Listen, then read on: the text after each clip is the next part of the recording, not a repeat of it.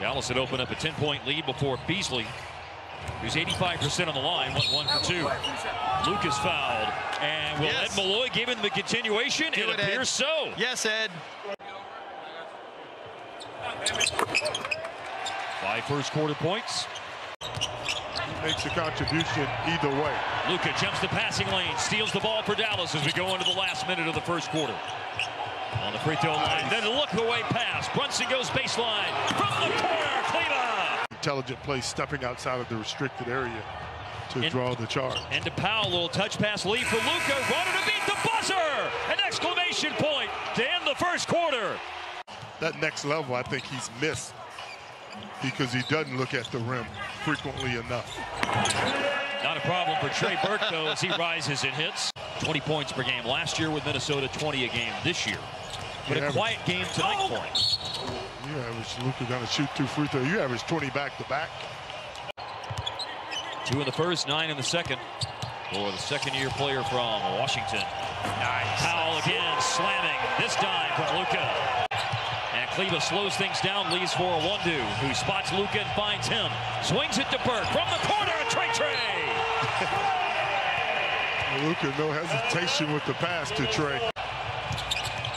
Luka grabs his third rebound of the night. Deep three by Hardaway from Luka. Set him up. And that's what happens. Eight to shoot for Luka. Luka over Ed Davis. Long two out of the corner. Yes, sir. To insert themselves back in the conversation in this game. It's a 14-point map lead in the middle of the third quarter. But Luka just adds two points back to it and a chance for a third. He's clever Yep. offensively is what he is. Misdirection bucket that time. Foul screens. Luka passes. Corner three. Yes, sir. Richardson. Like it. A corner three is missed by Burke and a tip out rebound by Powell.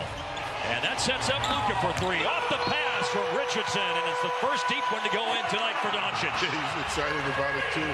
They've now made things a little uncomfortable for Dallas. There's going to be some work to do down the stretch. And some work done by Luka inside with a difficult layup. Averaged 20 points back-to-back seasons. He's up to 20 for the night. Right there at his average. And then Okogie. I think the basketball gods thought that should not have been reversed. And they spoke loudly. Luka all the way to the basket to score.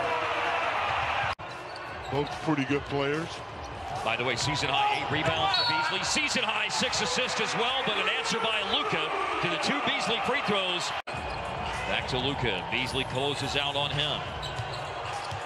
Porzingis screens and Luka going to drive it again. This time he'll stop for a comfortable mid-ranger, and the streak continues at at least 25 points. Now it's 11.